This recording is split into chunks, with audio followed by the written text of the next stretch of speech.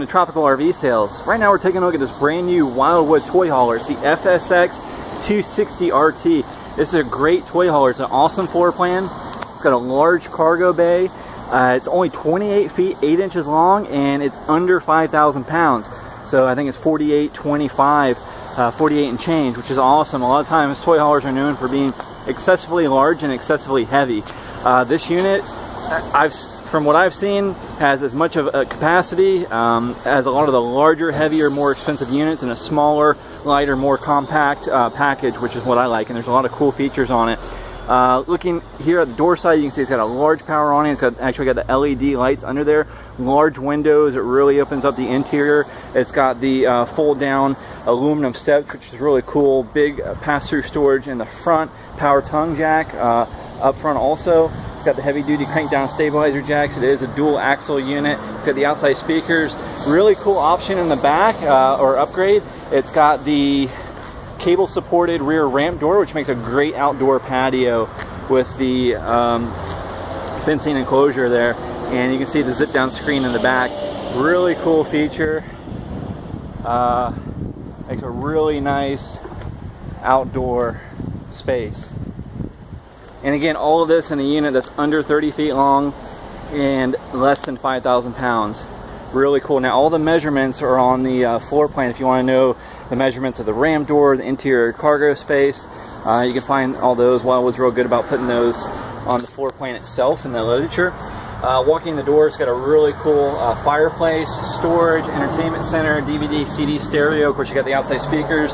It's got the, the two chairs. Now, these are freestanding chairs. You can use them, not use them, uh, move them, remove them completely. Uh, full-size fridge. It's an RV gas and electric fridge, so you can run it without power. Full extension drawers. Nice with the uh, wood sides on it. Full extension. Three burner cooktop, stainless steel appliance package, microwave over top. It's got the 50-50 split sink, uh, high-rise faucet, uh, little uh, sink cover there, uh, strainer, which is really nice. Again, lots of windows, really opens up this unit. Big picture window behind the chairs. Uh, the pass-through seating, which is nice, so it's opposing. That means you can walk from the inside to the to the back patio on the outside. Um, not having to climb over anything. You can use these as twin beds, or they also the table also folds down if you want to make a larger single sleeping surface, Again, you have the, the zip up screen in the back, overhead storage. Uh, the table, again, you can use it, not use it. The uh, bed frames actually fold up on the walls. I'm going to slide the table over, so you can also slide the table to one side. Uh, so if you're using the table, makes it easy to get by. So standing on the back patio, looking forward, uh, LED lighting, see there's a lot of interior lights and the AC is actually ducted through the roof. It's got a cool skylight in the back to let in even more natural light. It's got the pull down roller shades which are real nice. It's prepped for a uh, flat panel TV. And again, the outdoor patio space is really cool. Again, the uh, ramp just folds down, spring assisted, cable supported when you want to use it for a patio. Just unpin the cables uh, when you need to use it as a ramp door. And you see it's got the tie downs in the floor. Nice flooring, wood plank uh, look flooring. Sharp looking unit, uh, low profile. A lot of these toy haulers sit up real high off the ground. Again, makes them just that much more cumbersome, more difficult to pull, less efficient, uh, use more gas. So this is a nice low profile, but it's still a great size unit. Uh, again, without being too big or too heavy. So you can fold this bed uh, platform up on the wall. This one goes up on the wall. Those chairs you can move forward or take out, depends on what you're carrying. But you can see you got tie downs in the back all the way up to just outside the bathroom in the front. And the floor plan, you know, it's even great in the front. It's got the real nice uh, stand-up shower with a sliding door, skylight overhead, nice size residential mirror, nice size sink, toilet with storage, more storage over there. So private bath, private bedroom, walk around queen size bed. So it's not the corner bed. A lot of these toy haulers, again, small bathrooms, showers you can't really use, corner beds, you got to crawl over somebody to get out of bed. So this has actually got all the desirable features.